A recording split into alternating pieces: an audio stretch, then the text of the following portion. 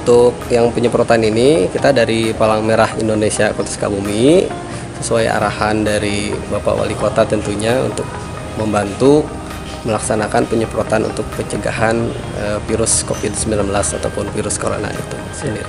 Ini dalam rangka pencegahan penyebaran virus COVID-19 yang memang sekarang lagi merebak gitu ya. Jadi PMI Kota Sukabumi dalam hal ini membantu pemerintah dalam upaya pencegahan tersebut dengan melaksanakan penyemprotan disinfektan.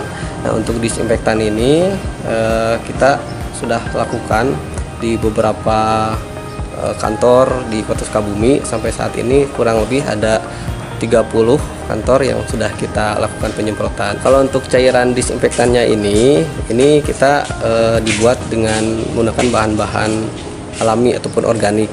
Jadi ini aman eh, ketika cairan ini terkena makanan ataupun minuman, ya itu tidak akan berdampak apa-apa. Itu kalaupun terkena yang lainnya seperti tanaman, yang lainnya ini bahkan bisa menambah kesuburan dari makanan karena efek utama dari cairan disinfektan ini adalah untuk penghilang bau kemudian juga untuk membunuh bakteri dan virus